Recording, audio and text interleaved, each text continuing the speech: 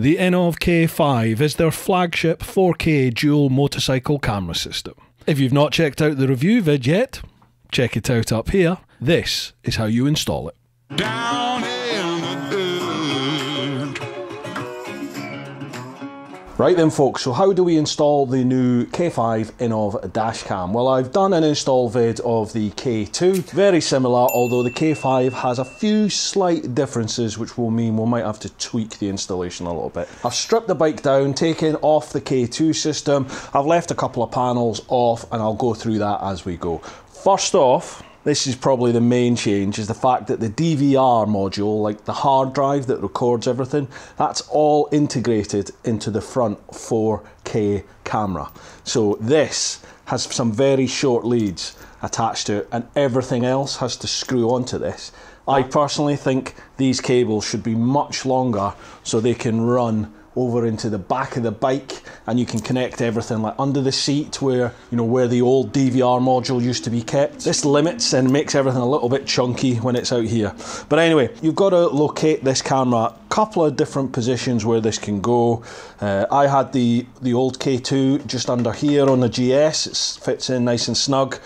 With this, there's no real mount that I could use to put it in there. However, I could use some 3M like Velcro type stuff. That's probably the option I'll go for. Another option would be to locate it up on here, but then it sits very proud. It's fairly obvious to prying eyes. You do get the odd idiot out there who might want to come by and either bend it, snap it off, or steal it, or vandalise it in some way. Uh, you could mount it on the sides here above the indicators, but again, the field of vision is going to be blocked to the right if you mount it on the left of the bike, and if you mount it on the right of the bike, the left will be slightly blocked as well. Another good place is under the beak, there's some bolts there. You can flip the camera upside down, and then in the app, there's a mirroring function which will flip the footage back over. So you could mount it upside down and have that underneath the beak there. That is a good option, but then with all these wires, you're then going to have to get them located somewhere under there, and it's also way open to the elements and all the crud coming up here. For me, I think I'm probably just going to go for that position, just under the headlight in this little gap here on the GS, like the K2. So let's crack on.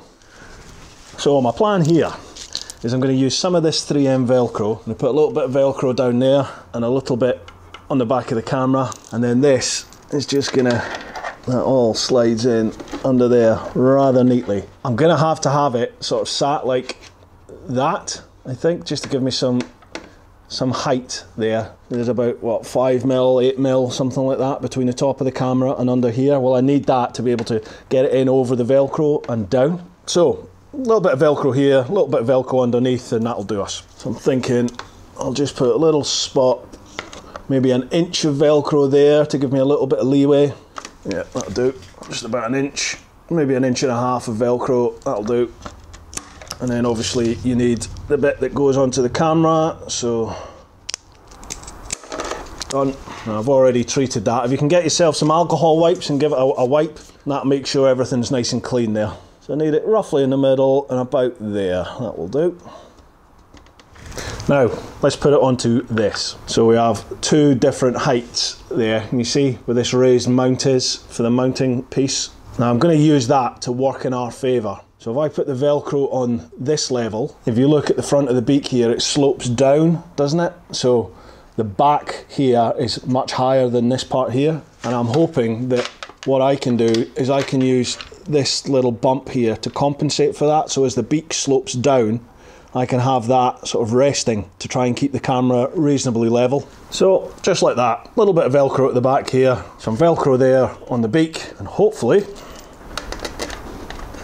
okay, not massively convinced. I'll have to give that a trial and see. We might have to tweak the front location a little bit. I mean, it's, it's reasonably solid that, but we'll have to see what it's like. I imagine on really rough terrain, not that I do much off-roading, but on really rough terrain, that's going to take a, a, hell of a, a padgering. So we'll need to um, we'll need to watch that. But anyway, okay. The other issue is going to be connecting everything at the back. It's going to be very fiddly in the back there. But I think that's probably one of the the neatest positions.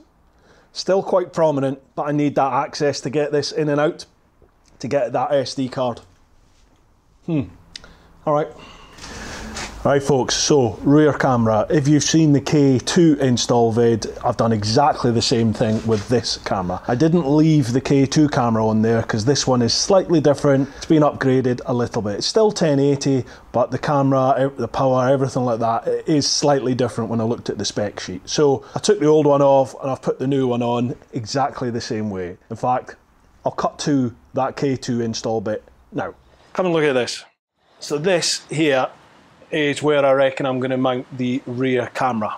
I've just used the existing bolt, the indicate, rear indicator bolt. So I took that bolt out. It's a T27 torsion. Used the, the L bracket, as you can see, screwed the bolt back in. This is all um, not fixed yet. As you can see there, the camera just sits lovely it just fits in between the indicator and the top of the number plate. So then with the wiring, that'll all just get cable tied nice and neatly in there. And what I've done is I threaded it up through here and then through the little gap there in the plastics. So that cable will then run through here. The setup's just a little bit weird. Everything has to connect up to where the DVR module is, which is up at the front camera. So this cable has to run all the way, all the cables have to run all the way up the front of the bike and down to connect in there. So wherever you locate that front camera, you've got to bear in mind you've got to have access to run all the cables to it. That's both cameras located. Now what I'll do is I'll fit the DVR module in there, get all the cable work, connect everything up to the battery, and then we can run all the cables, connect everything up to the DVR module. Bosh, job done. Let's crack on. DC converter unit. It is slightly different to the K2 again, so I've removed the K2 one. This one handles more power. It's just it's an upgraded one basically. As before with the K2, if you have a little look, there is a little LED which goes blue when the power's on. That lets you know everything is functioning okay. Although now we have a remote control unit, which I'll cover soon, which will let you see from the cockpit that everything's working okay. Same thing, got a little bit of 3M Velcro on the back. There's a little bit of 3M Velcro here. That just keeps it all nice firmly in place. Job done.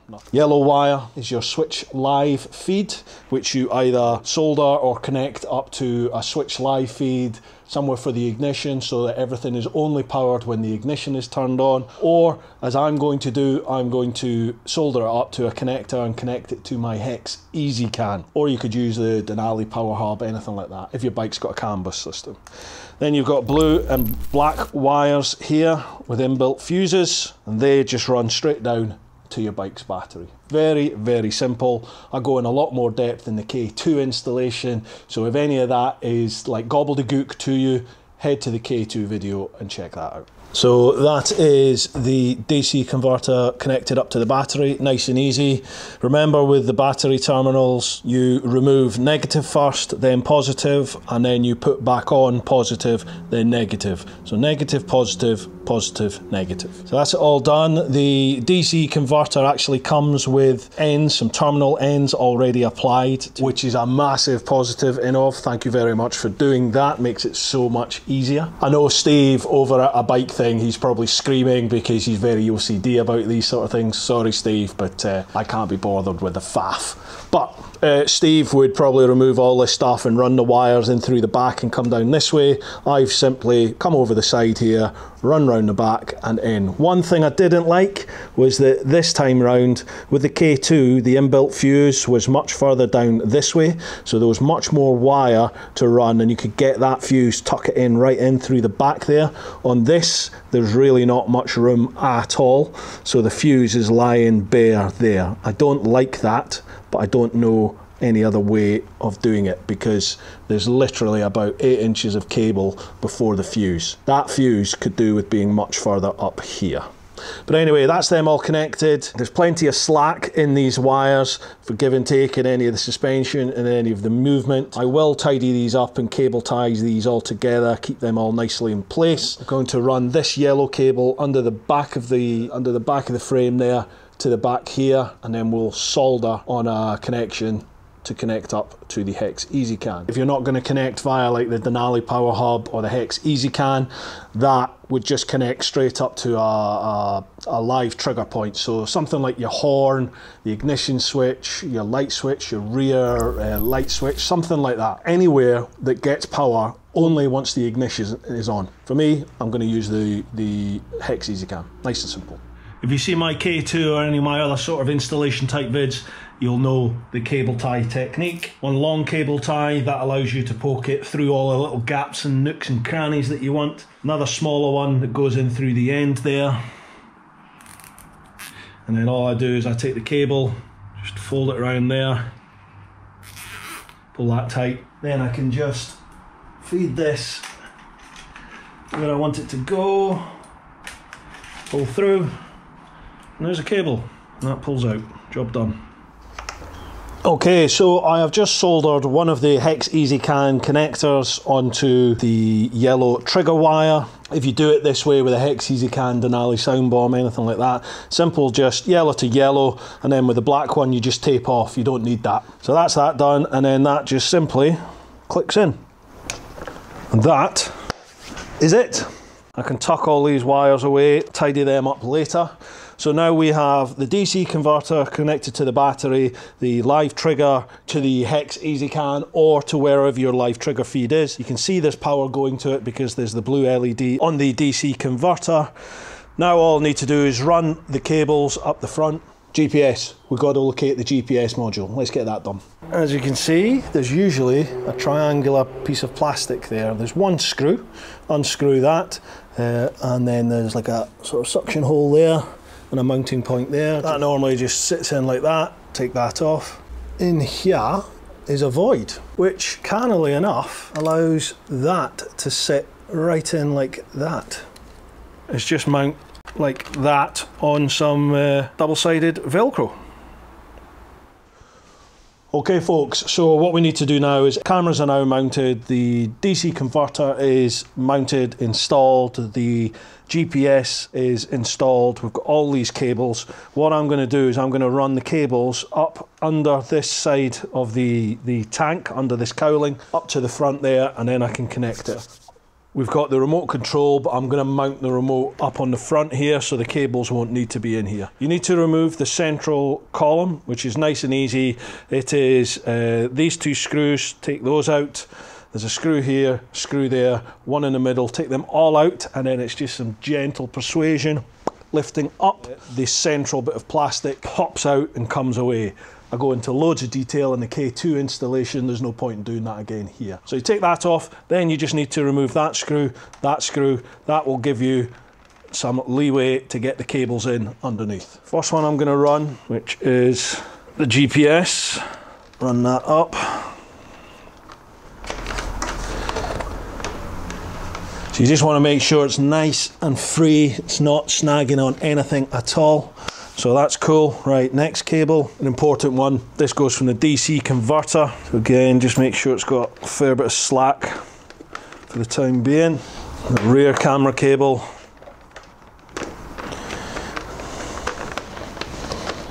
So you can see here, these, these cables, they need to, ideally, I need them under this black bracket. So unscrew that one, unscrew this one. That's going to give us just enough play to get that underneath so it's not biting on anything at all there. Same with this cable. I want this underneath there as well. Again, I don't want that biting on anything. Okay, so I'm happy with that. Whack these back on. And now we just have to connect all the wires up to the front camera, the DVR module, make sure everything switches on, and then we can tidy everything up. Job done. Okay folks, so I've pulled all the cables through from the front there. And there's just enough slack to connect everything up. Now thankfully, everything is color coded. We're looking good here. How many have I got? One, two, three, four, two, three, four, five. Ah, what am I missing? What am I missing? Mic. There's one more, which is this, a mic. Now the K5 uses an external mic input direct to the DVR. This, you can either put that somewhere on the bike for engine noise, or you could try passing the cable up into your lid and using it for a bit of moto vlogging. Now I'm going to try both and see. So for the time being, I'm just going to have this dangling in the cockpit so I can wire it up into my helmet. It's not ideal, I know, but we'll give it a bash and see. So what we'll do is we'll just connect everything up now and then I'll be able to pull these wires back through, locate the front camera, tidy up all the wiring and then tidy everything up. We should be done. All color coded, nice and easy. These are all waterproof connections as well. You don't want to over tighten them. So that's one. That one goes in here. Got to admit, it is a little bit fiddly this female to a male. And last one. Okay, so we should all be done there. And we just pull these cables back through. And then locate that onto its Velcro. Right folks, what I want to do before I finish and I tidy everything up is I've got all the cameras installed, everything installed like that. All I want to do now is switch the system on, make sure I'm getting the feeds to the app, make sure all the cameras are leveled at the right angles and things. Once I'm happy with all that, then uh, I can tidy everything up and that'll be us done. But essentially, hopefully, fingers crossed, that is us. Switch her on. So we can see via the remote the green light is solid, which means it's recording. The GPS is flashing, which means the GPS signal is looking for a GPS signal. We're inside, so that might be why. The Wi Fi signal is flashing because we haven't connected via Wi Fi yet, so we'll do that now. Nice and simple, just like with the K2. Open up the Innovv app, open up your Wi Fi settings. Now we're looking for the K5 camera, Innovv K5 tap that. Default password's just 12345678. You can change that. That is us now connected to the Innovv. Go back to the app. Let's tap the camera screen. Bosh, there we go. So you can see there that the main display is the front and the little inset one is the rear. You can change that, have the rear as the main and the front as the inset. You can have it just front, just rear, but I'm happy with front is the main, rear is the inset. I would say the front is looking nice and level, the rear's looking nice and level. Whew, that's us done folks. So, come see what I've done. So there we go. Cabling's all been tidied up, just lightly cable tied, plenty of room there. The live trigger feed is running up into the back there, so that's all taken care of. The power leads down to the battery, they're all channeled down there, kept nice and tidy. There's still plenty of slack on these. I can easily just remove that off the Velcro so that can pop on and off. The rear camera cable, that runs down here, and then I have cable tied it onto the rear frame so that's running there just like the K2 one. The GPS receiver is under here where the cable's running up. Everything then runs under this left hand side cowl. So between the cowl and the tank there's plenty of space there. Just make sure it's not caught on anything. There's plenty of space to run all the cables. The cables run out through here. Little bit of a concoction there. I've coiled everything up tight enough so that it's not all hanging and I've cable tied them onto, you can see cable tied it onto one of the struts that run across the front there and then those cables run down the bottom and out the front and connect onto the camera. So the camera sits there. This is a big old unit this. You can't really hide that as well as you could hide the K2 but we'll see. Remote control. So all I've done is I've just used some of the 3M Velcro, attached a bit onto the cowling here, another bit onto the bottom of the remote, and that is stuck there. So all in folks, I don't think that's too bad a setup at all. It's taken me a while because I've been recording it, but uh, I reckon give yourself probably an hour, hour and a half and you should be able to do this, no problem. Probably do it even quicker to be honest. The mic. Now I have just left this running free on a cable. Every time I get on the bike, I'm going to feed this up and into my helmet. Total faff, I know, I want to see what the sound quality is like. Is it possible to vlog with the K5 and the onboard mic? I think ultimately long term, what I would do is I'll run this back down through the same channels, all the other cables, and I'd probably have the, the mic somewhere at the back here, just lying free. I don't know somewhere where it can pick up the engine noise. But anyway, let's head out on a bike and check out what the footage is like. So, folks, if you want to check out the footage from the K5, head on over to my full review, which is available here. Or is it that side? One of these sides. Alright, folks, if you've bared with me to this point in the video, you are pretty special. Thank you so much for all your support. Keep on getting on out there. Keep on doing your thing. Look after those that you love. But most importantly, most importantly, live your life. Woo-ha! The Innovv K5 is their flagship 4K dual motorcycle camera system. Whew, ran out of 4, The Innovv 4 the Innovv K5 is their 4K